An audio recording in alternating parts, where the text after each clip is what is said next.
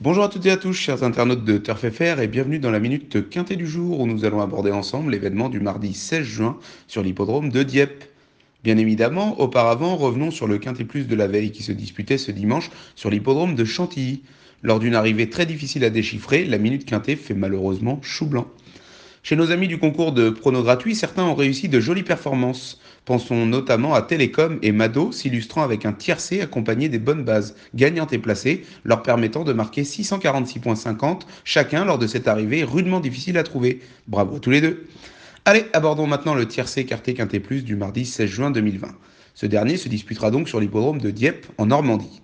C'est d'ailleurs le prix de la région Normandie, cinquième épreuve de la Réunion 1, qui mettra à l'honneur des compétiteurs galopeurs âgés de 4 ans et plus.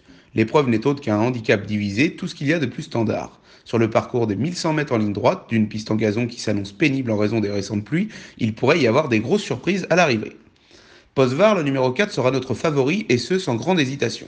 Ce pensionnaire de Stéphane Vattel effectue une rentrée ici, mais nous pensons qu'en valeur 40, il peut d'entrée de jeu mettre tout le monde à la raison. Tout d'Aubem, le numéro 6, régulier dans l'ensemble et proche d'une victoire de Quintet Plus, pourra compter sur la précieuse aide de Christophe Soumillon pour profiter au maximum du numéro 3 dans les stalles de départ. Simply Striking, le numéro 1, véritable métronome à ce niveau de la compétition, ne pouvait rêver meilleur numéro dans les stalles avec le numéro 1 en dedans.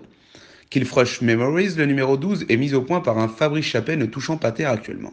Dès lors, proche d'un succès, il pourrait bien mettre tout le monde à la raison aujourd'hui.